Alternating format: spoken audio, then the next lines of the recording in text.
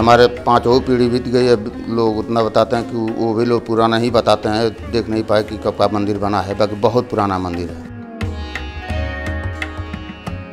जब राम और लक्ष्मण घूमते हुए माँ बन देवी के धाम पे आए तो यहीं वाल्मीकि जी से भी मुलाकात हुई और यह लव और कुश का जन्म स्थल भी बताया जाता है। हम 2007 में एक बार आए थे मान के आए थे कि हम कभी कुछ आगे बढ़ जाएँगे तो फिर यहाँ पे दर्शन करने आएँगे। हमें विश्वास था आज आ गए फिर। कि जब सीता जी आई थी यहाँ पे लक्ष्मण जी ने उनको यहाँ पे जंगल में छोड़ा था अपना उन्होंने नाम वाल्मीकि जी से पूछ करके बंदेवी जी रखवाया। जो भी मनोकामना आदमी माँगता है पूरा होता है।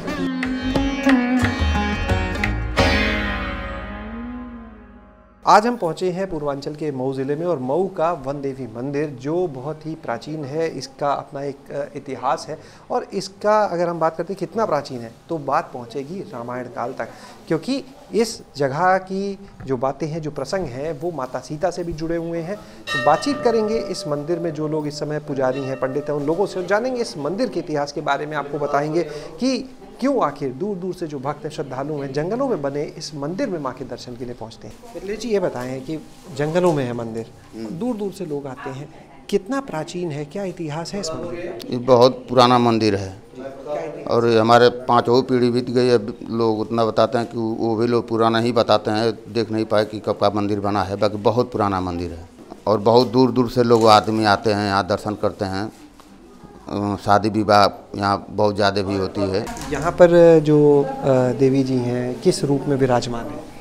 ये बनदेवी सीता की विराजमान हैं। माता जी यहाँ कहते हैं नाम से पूजे जाते हैं बनदेवी धाम। सीता की जुड़ाव है इनका सीता ही जी हैं बाकी नाम है इनका बनदेवी धाम पड़ा है। यह मंदिर हज़ारों साल पुराना है और इस मंदिर का ज़िक्र रामायण में भी किया गया है। जब राम और लक्ष्मण घूमते हुए माँ बन देवी के धाम पे आए तो यहीं वाल्मीकि जी से भी मुलाकात हुई। और यह लव और कुश का जन्म स्थल भी बताया जाता है। जो भी भक्त आते हैं, मनोकामना पूर्ण हो जाती है उनकी तो फिर आते हैं दर्शन करने के लिए। जो एक बार आते हैं तो कभी हज़ारों बार आते हैं, वो जो है, उनकी मतलब मनोकामना पूर्ण होती जाती है, उनको जैसे जैसे बढ़ते जाते हैं वैसे वैसे आकर के जो अपना पूजा पाठ माता करते हैं, मान्य करते हैं। माँ बन देवी का बहुत प्रचलित बहुत पुराना मंदिर है। माता जी यहाँ पे जब धरती से निकली तो, तो वो समय आपको बताया कि कोई नहीं जानता था यहाँ पे। बीच जंगल में निकली हैं। ये ये जो गाँव बसा है वो जंगल की ज़मीन में बसा है। यानी तो पूरा ये जो है कि बीच जंगल में माता जी निकली हैं। इधर नदी है। नदी के किनारे नदी से इस पार जो कोई जंगल में आ नहीं पाता था। कोई आता उसका तबीयत खराब हो जाती थी पहले। पुराने लोग बताते थे कि मतलब ऐसे ऐसे हालत गुजरते यहाँ से कोई एक पत्ती भी तोड़ के नहीं लेके जा पाता था। हमारे साथ में इस समय बहुत से भक्त हैं श्रद्धालु हैं जो इस वन देवी मंदिर मंदिर में दर्शन के लिए आए हुए हैं। अन्य ज़िलों से भी यहाँ पर जो भक्त हैं वो आते हैं।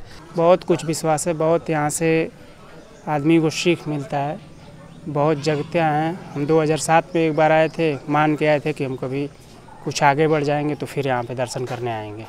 हमें विश्वास था आज आ गए फिर। सात के बाद आज सत्रह साल बाद फिर आना हुआ। जी सत्रह साल बाद आना हुआ। सत्रह साल में कितना बदलाव हुआ दिख रहा है? बहुत बदल गया है। कृपा से बहुत कुछ हुआ है आज तक। यही सब सुना था हमने। आज आप भी पहुँचे गए मनोकामना लेके? हाँ हाँ बहुत ज़्यादा। हम हम लोग हमेशा नवरात्रि में आते रहते हैं।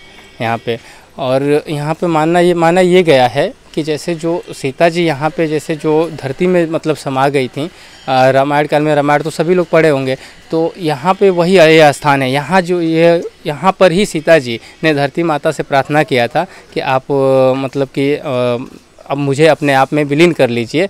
तो यह धरती माँ जो फटी थी और सीता जी उसमें समा गई थी। वो वही स्थान है यही मंदिर और यहाँ से जुड़ी क्या आप लोग आते हैं तो विश्वास होगा एक माता के ऊपर तो बिल्कुल सर बहुत ज़्यादा विश्वास है और ये यहाँ पे मनोकामनाएँ जो होती हैं हम लोगों की पूर्ण होती हैं।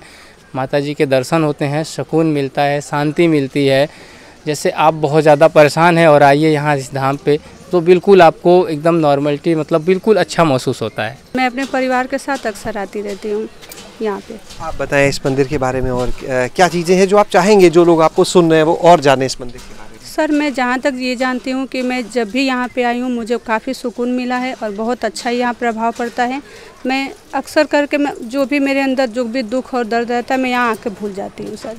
और जो और अक्सर करके यहाँ पे काफ़ी भीड़ लगी रहती है। अगर नवरात्रि नहीं भी हो, फिर भी यहाँ पे भीड़ लगी रहती है सर। बहुत अच्छा लगता है बहुत सुकून मिलता है।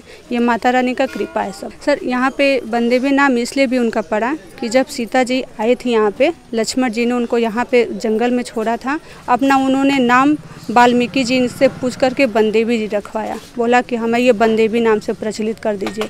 तो इसलिए बंदेवी नाम रखा गया। इसलिए आज बंदेवी से बहुत प्रसिद्ध है माता रानी। माता सीता जी के हमारे मतलब पूर्ण रूप से यहीं पे मतलब आती थी, रहती थी। उनके मतलब पूरा धाम था। यहाँ पे पोखरा, वहाँ जहाँ बाल धोती थी नहाती थी। यहाँ से तमसा नदी हमारे पास नज़दीक में है। सबसे मतलब पूजनीय माता सीता जी के हम लोग के अगर इस धरती पावन धरती पे रहे हैं तो हम लोग उन्हीं के छत्र छाया में बंदेवी माता हमारे दाया करते हैं। मंदिर से है कि मन्नत थी हमें कि लड़की हो तो प्यारी सी माता रानी ने लड़की दी। मैं मानती हूँ कि अगर हम यहाँ आके बहुत प्यार से अगर कोई चीज़ मांगते हैं तो माता रानी ज़रूर पूरा करती है। इनको सीता का रूप ही कहा गया है। तो इसीलिए मन्नत थी तो हम बोले कि आज दर्शन करा देते आज अच्छा दिन है इसलिए। आपका पहला बच्चा है जी हमारा पहला बच्चा। बेटी मांगी? जी।